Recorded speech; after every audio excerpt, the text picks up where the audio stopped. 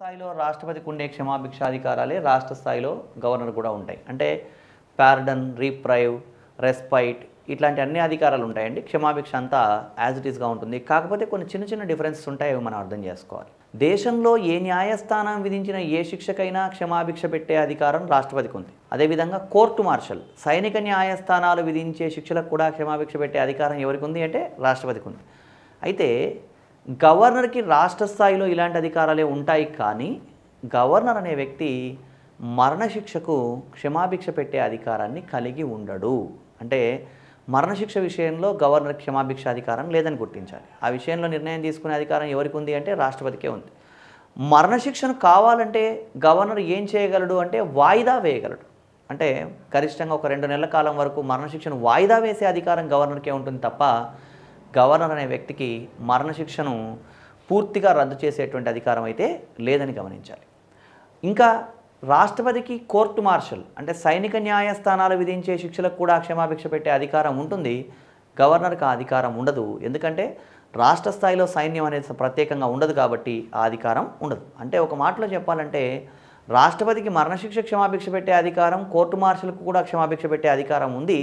గవర్నర్కి అధికారాలు రెండు లేవని అర్థం చేసుకోవాలి. కానీ మరణశిక్షను గవర్నర్ కావాలంటే వాయిదా వేసే అధికారాన్ని కలిగి ఉన్నాడు. ఇది ఆర్టికల్ వన్ సిక్స్టీ వన్లో గవర్నర్కు ఉన్నటువంటి న్యాయాధికారాలు.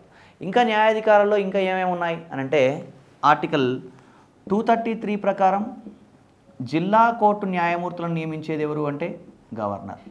జిల్లా కోర్టు న్యాయమూర్తులను. జిల్లా కోర్టు న్యాయమూర్తులను నియమిస్తాడు. అదేవిధంగా గవర్నర్ ఇంకా ఎవరిని అపాయింట్ చేస్తాడు అంటే ప్రధానంగా ఈ జిల్లా కోర్టు న్యాయమూర్తులు నియమిస్తాడండి.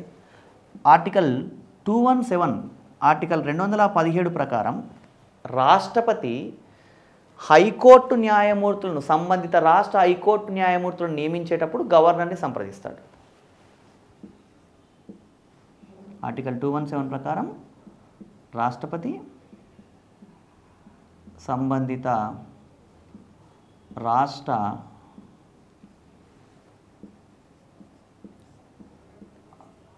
హైకోర్టు న్యాయమూర్తులను నియమించేటప్పుడు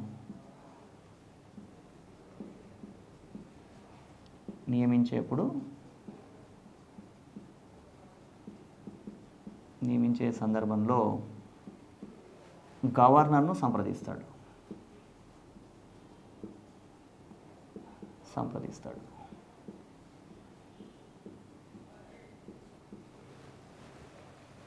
ఇది మనకి గవర్నర్కు ఉండేటువంటి అధికారాలండి.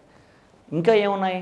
గవర్నర్ న్యాయ అధికారాలు అని అంటే ఇక్కడ గమనించండి ఈ అధికారాలు చదువుకునేటప్పుడు కంపారిటివ్లీ చదువుకోవడం అభ్యర్థికి చాలా సులభం అండి అంటే ఫర్ ఎగ్జాంపుల్ ఆర్టికల్ సెవెంటీ టూలో రాష్ట్రపతికి క్షమాభిక్ష పెట్టే అధికారాలు ఉన్నాయి.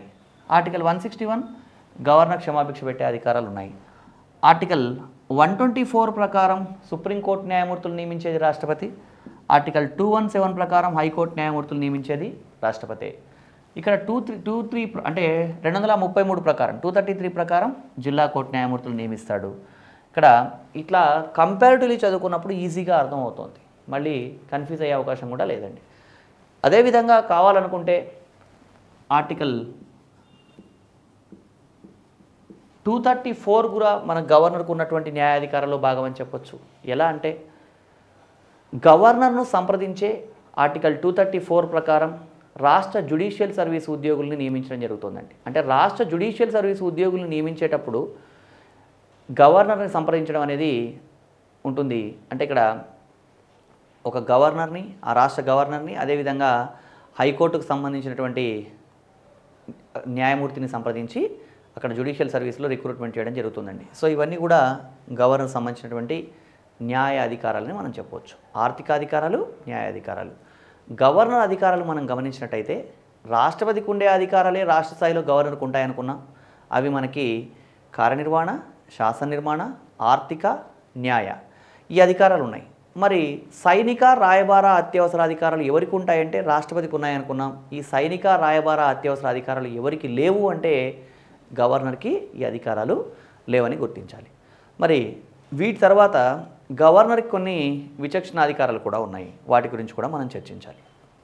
గవర్నర్కు ఉన్నటువంటి విచక్షణాధికారాల గురించి చర్చిద్దాం.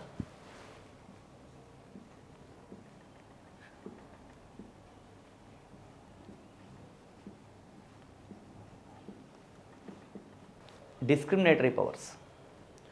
ఈ విచక్షణాధికారాలు ఏంటి? గవర్నర్కు ఉన్న విచక్షణాధికారాలు ఏంటి అంటే విచక్షణాధికారం అంటే తనకు తానే చేపట్టే అధికారం అండి. ఇంకా సింపుల్గా చెప్పాలంటే సాధారణంగా గవర్నర్ ఏ నిర్ణయం తీసుకోవాలన్నా ముఖ్యమంత్రి మంత్రిమండలిని సంప్రదించి నిర్ణయం తీసుకోవడం జరుగుతుంది. అయితే ముఖ్యమంత్రి మంత్రిమండలి సలహా లేకుండా కానీ లేదా ముఖ్యమంత్రి మంత్రిమండలి సలహాకు వ్యతిరేకంగా కానీ గవర్నర్ ఏవైనా నిర్ణయాలు తీసుకున్నట్టయితే వాటిని విచక్షణాధికారాలు డిస్క్రిమినేటరీ పవర్స్ అని చెప్తాం. ఈ విచక్షణాధికారాలను కూడా మళ్ళీ మనం రెండు రకాలుగా డివైడ్ చేయొచ్చండి. అవేంటి అంటే రాజ్యాంగబద్ధ విచక్షణాధికారాలు.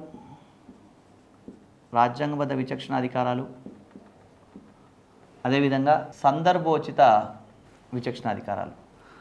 రాజ్యాంగబద్ధ విచక్షణాధికారాలు అంటే రాజ్యాంగంలోనే గవర్నర్కి అధికారాలు లభించాయండి. అలా లభిస్తే వాటిని రాజ్యాంగబద్ధ విచక్షణాధికారాలు అంటాం. సందర్భోచిత విచక్షణాధికారాలు అంటే ఆ సందర్భాన్ని బట్టి గవర్నర్ నిర్ణయం తీసుకుంటే వాటిని సిచ్యువేషనల్ డిస్క్రిమినేషన్ సందర్భోచిత విచక్షణాధికారాలు అంటాం. రాజ్యాంగబద్ధంగా గవర్నర్కి ఎలాంటి విచక్షణాధికారాలు లభించాయో మనం తెలుసుకుందాం ఫస్ట్ ఇక్కడ రాజ్యాంగబద్ధంగా గవర్నర్కి ఎలాంటి అధికారాలు ఉన్నాయి అంటే విచక్షణ అధికారాల్లో భాగంగా ఒక రాష్ట్ర బిల్లును అది సాధారణ బిల్లు కావచ్చు లేదా ఆర్థిక బిల్లు కావచ్చు. ఒక రాష్ట్ర బిల్లును రాష్ట్రపతికి పంపాలి అంటే గవర్నరు ముఖ్యమంత్రి మంత్రిమండలిని సంప్రదించాల్సిన అవసరం లేదు. ఆయన సొంత నిర్ణయం తీసుకోవచ్చు. అంటే ఇది రాజ్యాంగబద్ధంగా గవర్నర్కి లభించినటువంటి అధికారమే. అంటే ఒక రాష్ట్ర బిల్లును గవర్నర్కి గవర్నర్ అనేవాడు రాష్ట్రపతికి పంపాలంటే ఎవరి పర్మిషన్ తీసుకోవాల్సిన అవసరం లేదని గమనించాలి. అదేవిధంగా ఒక రాష్ట్రంలో రాష్ట్రపతి పాలన విధించమని సూచించే సందర్భంలో ఏదైనా ఒక రాష్ట్రంలో పాలన రాజ్యాంగ నియమాలకు విరుద్ధంగా జరుగుతుందని భావించిన లేదా ఇంకేదైనా కారణం ఉన్నప్పటికీ కూడా అవి గమనించి సంబంధిత రాష్ట్రంలో రాష్ట్రపతి పాలన విధించమని కేంద్రానికి గవర్నర్ సూచిస్తాడు. ఈ విధంగా సూచించేటప్పుడు గవర్నర్ ఎవరి సలహాను తీసుకోవాల్సిన అవసరం లేదు. సొంతంగా ఆయన కేంద్ర ప్రభుత్వానికి అలా సూచన చేయవచ్చు. అదేవిధంగా ముఖ్యమంత్రి నుంచి ఏదైనా ఒక సమాచారాన్ని కోరే విషయంలో కూడా అంటే ముఖ్యమంత్రి నుంచి ఏదైనా ఒక సమాచారాన్ని కోరవచ్చు. అదేవిధంగా ముఖ్యమంత్రికి మంత్రిమండలికి ఏదైనా ఒక సమాచారాన్ని ప్రవేశపె అంటే మంత్రిమండలికి తెలియజేయమని ముఖ్యమంత్రికి కూడా సూచించవచ్చండి. ఇలాంటి అధికారాలు కూడా మనకి విచక్షణాధికారాల్లో భాగంగానే చెప్పవచ్చు. అంటే గవర్నర్ అనే వ్యక్తికి ఇలాంటి విచక్షణాధికారాలు సందర్భోచితంగా మనకి లభిస్తేనేమో అవి సందర్భోచిత అంటాము. రాజ్యాంగబద్ధంగా లభిస్తున్నాయి కాబట్టి ఇక్కడ రాజ్యాంగబద్ధ విచక్షణాధికారాలు అంటున్నాం. ఇంకా ఎలాంటి విచక్షణాధికారాలు ఉన్నాయి? అంటే గవర్నర్ అనేవాడు రాజ్యాంగబద్ధంగానే కొన్ని రాష్ట్రాలకు సంబంధించిన విచక్షణాధికారాలు కలిగి ఉంటాడండి. అవేంటి అంటే ఆర్టికల్ త్రీ సెవెంటీ వన్ సిరీస్లో ఉన్నటువంటి అనేక నిబంధనలు అండి మహారాష్ట్ర విదర్భ అస్సాం మణిపూర్ ఆంధ్రప్రదేశ్ ఈ రాష్ట్రాలకు సంబంధించి గవర్నర్ అనేవాడు ముఖ్యమంత్రి మంత్రిమండలి సూచనలకు సలహాలకు వ్యతిరేకంగా కూడా నిర్ణయాలు తీసుకోవచ్చు. వాటికి సంబంధించినటువంటి అధికారాలన్నీ కూడా రాజ్యాంగబద్ధంగా లభించే విచక్షణ అధికారాలుగా చెప్పవచ్చు. ఇక సందర్భోచిత విచక్షణ అధికారాలు అంటే ఏంటి అంటే ఈ సందర్భోచిత విచక్షణ అధికారాలు మనం అర్థం చేసుకోవాల్సింది ఏంటి అంటే ఆ సిచ్యువేషన్ను బట్టి గవర్నర్ డిస్క్రిమినేషన్ ఉంటుంది. ఆ సందర్భాన్ని బట్టి గవర్నర్ నిర్ణయం తీసుకుంటాడు. అంటే ఫర్ ఎగ్జాంపుల్ ఏదైనా ఒక సందర్భంలో ఏదైనా ఒక రాష్ట్రంలో ఏ రాజకీయ పార్టీకి సరైన మెజారిటీ రాలేదనుకుందాం. అంటే ఫర్ ఎగ్జాంపుల్ నూట పంతొమ్మిది స్థానాలు ఉన్నటువంటి ఒక రాష్ట్ర విధానసభలో ఒకళ్ళకేమో యాభై స్థానాలు వచ్చాయి ఇంకొకళ్ళకి పది స్థానాలు వచ్చాయి ఇంకొకళ్ళకి నలభై స్థానాలు వచ్చాయి ఇంకొకళ్ళకు పంతొమ్మిది స్థానాలు వచ్చాయి అనుకోండి ఇట్లా. అంటే భిన్నమైన రాజకీయ పార్టీలు ఎన్నికల్లో పోటీ చేస్తే ఆ రాష్ట్ర శాసనసభలో ఇలా వేరు వేరు పార్టీలకు వేరు వేరు మెజార్టీలు వచ్చాయనుకోండి. అలాంటప్పుడు ఎవరిని ముఖ్యమంత్రిగా నియమించాలి? గవర్నర్ అనే వ్యక్తి ముఖ్యమంత్రిగా నియమించాలంటే సగం కన్నా ఎక్కువ స్థానాలు వచ్చి ఉండాలి. సగం కన్నా ఎక్కువ అంటే నూట పంతొమ్మిది స్థానాలు ఉన్నటువంటి రాష్ట్ర విధానసభలో ప్రభుత్వాన్ని ఏర్పాటు చేయాలంటే అరవై స్థానాలు వచ్చి ఉండాలి.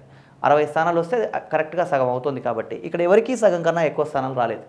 అలాంటప్పుడు ఎవరిని ముఖ్యమంత్రిగా పిలవాలి అంటే జనరల్గా యాభై స్థానాలు వచ్చిన వ్యక్తిని ముఖ్యమంత్రిగా పిలిచే అవకాశం ఉందని మనం అనుకుంటాం. కానీ కావాలనుకుంటే గవర్నరు అందరికన్నా తక్కువ స్థానాలు పది స్థానాలు వచ్చిన వ్యక్తిని కూడా ముఖ్యమంత్రిగా ఆహ్వానించి ముఖ్యమంత్రిగా నియమించేయవచ్చు. అయితే ముఖ్యమంత్రిగా పది స్థానాలు వచ్చిన వ్యక్తిని నియమిస్తే అతను ముఖ్యమంత్రిగా కొనసాగుతాడా అంటే మెజార్టీ లేకుంటే కొనసాగలేడు.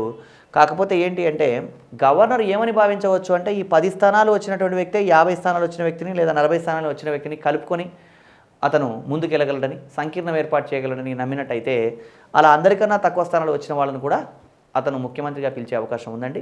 సో ఇక్కడ ఇలాంటి విషయాలు బాగా వివాదాస్పదం అవుతున్నాయి అంటే వాస్తవంగా ఎవరికి ఎక్కువ స్థానాలు వచ్చాయో వాళ్ళని పిలిచినట్టయితే ప్రభుత్వాన్ని ఏర్పాటు చేయడానికి వాళ్ళు ప్రయత్నం చేయడం సమంజసంగా ఉంటుంది. కానీ ఈ సందర్భోచిత విచక్షణాల విచక్షణాధికారాల వల్లనే గవర్నర్ పదవి బాగా వివాదాస్పదం అవుతుంది కొన్ని కొన్ని సందర్భాల్లో మెజారిటీ ఉన్న ప్రభుత్వాన్ని పక్కన పెట్టి కూడా మెజారిటీ లేని వాళ్ళకు కూడా అవకాశం ఇచ్చే సందర్భాలు కూడా ఉన్నాయి. ఇలాంటి నేపథ్యంలో గవర్నర్ రామ్లాల్ అనే వ్యక్తి ఎన్టీఆర్ ప్రభుత్వాన్ని పదవీచ్యుతుని చేసి ఎన్టీఆర్ను పదవీచ్యుతుని చేయడం జరిగింది.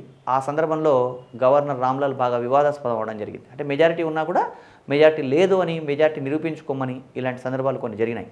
సో కాబట్టి ఇక్కడ ఈ గవర్నర్కి సందర్భోచిత విచక్షణ అధికారాలు ఎప్పుడు వస్తాయంటే ఏ రాజకీయ పార్టీకి సరైన మెజారిటీ అంటే ప్రభుత్వాన్ని ఏర్పాటు చేయడానికి కావాల్సినంత మెజారిటీ లేనప్పుడు అప్పుడు ప్రభుత్వాన్ని ఏర్పాటు చేయాల్సి వచ్చినప్పుడు గవర్నర్ ఈ విచక్షణ అధికారాన్ని ఉపయోగించడం జరుగుతుంది. అదేవిధంగా గవర్నర్ అనే వ్యక్తి ఒక్కొక్కసారి మెజారిటీ ఉన్న ప్రభుత్వాన్ని కూడా పక్కన పెట్టి వేరే వాళ్ళకి అవకాశం ఇచ్చే సందర్భాలు కూడా మనం అనేక సందర్భాల్లో చూడడం జరిగింది. మరి గవర్నర్గా నియమించబడాలంటే ఇవన్నీ గవర్నర్ అధికారాలండి. గవర్నర్ నియమి గవర్నర్గా ఒక వ్యక్తి నియమించబడాలంటే ఏం అర్హతలు ఉండాలి అంటే భారతీయ పౌరసత్వం ఉండాలి ముప్పై ఐదు సంవత్సరాల వయస్సు ఉండాలని చెప్పడం జరిగింది. కావాలనుకుంటే ఇతర అర్హతలు ఏమన్నా ఉన్నట్టయితే ఆ అర్హతల్ని నిర్ధారించడం కోసం పార్లమెంట్ ఏమన్నా ఇతర అర్హతల్ని కూడా నిర్ధారించవచ్చు. గవర్నర్ని నియమించేది రాష్ట్రపతి గవర్నర్ చేత ప్రమాణ స్వీకారం చేయించేది ఎవరు అంటే సంబంధిత రాష్ట్ర హైకోర్టు ప్రధాన న్యాయమూర్తి గవర్నర్ చేత ప్రమాణ స్వీకారం చేయిస్తాడని గమనించాలి. అదేవిధంగా గవర్నర్కు సంబంధించి ఎవరు గవర్నర్గా ఉండాలి అనే విషయంలో మనకి అనేక సూచనలు చేయడం జరిగిందండి. మొదటి పాలనా సంస్కరణ సంఘం సూచనలు చేసింది. అదేవిధంగా nineteen eighty three eighty eight మధ్యకాలంలో పనిచేసినటువంటి సర్కారియా కమిషన్ సూచనలు చేయడం జరిగింది. రెండు వేల ఐదో సంవత్సరంలో ఏర్పాటైనటువంటి మనకి రెండవ పాలనా సంస్కరణ సంఘం సూచనలు చేయడం జరిగింది. వీటన్ని అదేవిధంగా రెండు వేల సంవత్సరం రెండు వేల రెండు సంవత్సరం మధ్యకాలంలో పనిచేసినటువంటి వెంకటాచలయ కమిషన్ రాజ్యాంగ సమీక్ష కమిషన్ కూడా అనేక సూచనలు చేయడం జరిగింది. ఎవరు గవర్నర్గా ఉండాలి అని. వీటన్నింటిలో ముఖ్యమైన సూచనలు మనం గమనించినట్టయితే ఎవరు గవర్నర్గా ఉండాలి అన్నట్టయితే గవర్నర్ అనే వ్యక్తి సొంత రాష్ట్రం వాడై ఉండకూడదు. అంటే ఏ రాష్ట్రానికి చెందిన వ్యక్తిని అదే రాష్ట్రంలో గవర్నర్గా నియమించకూడదు. ఏ రాష్ట్రానికి చెందిన వ్యక్తిని అదే రాష్ట్రంలో గవర్నర్గా నియమించడం వల్ల అతను రాజకీయంగా ఇన్ఫ్లుయెన్స్ అయ్యే అవకాశం ఉంది కాబట్టి సొంత రాష్ట్రంలో అతన్ని గవర్నర్గా నియమించకూడదు అనే నియమం ఒకటి ఈ సూచన అండి. రాజ్యాంగంలో ఎక్కడా లేదు కానీ ఇది ఒక సూచన. ఇది దాదాపుగా అమలవుతోంది. కొన్ని సందర్భాల్లో మినహాయింపులు ఉన్నాయి బట్ అయినప్పటికీ కూడా సొంత రాష్ట్రానికి ఒక వ్యక్తి గవర్నర్గా నియమించబడడం జరగట్లేదు. ఇంకా ఏంటి సూచన ఉంది అంటే గవర్నర్ అనే వ్యక్తి రాజకీయాలకు దూరంగా ఉన్నవాడై ఉండాలి అని చెప్పడం జరుగుతుందండి. రాజకీయాలకు దూరంగా ఉన్నవాడై ఉండాలి అంటే ఈ రోజు వరకు ముఖ్యమంత్రిగా ఉండి ఈ రోజు రాజీనామా చేసి నేను గవర్నర్గా వెళ్తాను రాజకీయాలకు దూరంగా ఉన్నాను అనడం సమంజసం కాదు.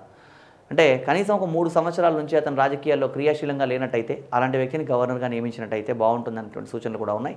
కానీ ఇవి అమల్లోకి రావట్లేదు మనం చూస్తూ ఉన్నాం. అనేక మంది వ్యక్తులు ముఖ్యమంత్రులుగా ఉన్న వ్యక్తులు కూడా గవర్నర్గా నియమించబడుతున్నారు. అంటే సుశీల్ కుమార్ షిండే కావచ్చు రోషయ్య కావచ్చు లేదా విద్యాసాగర్ రావు కావచ్చు ఎవరైనా కావచ్చు. ఇక్కడ పార్టీలకు ఒక పార్టీకి సంబంధించిన వ్యక్తిని మనం ఉద్దేశించడం కాదు ఇక్కడ.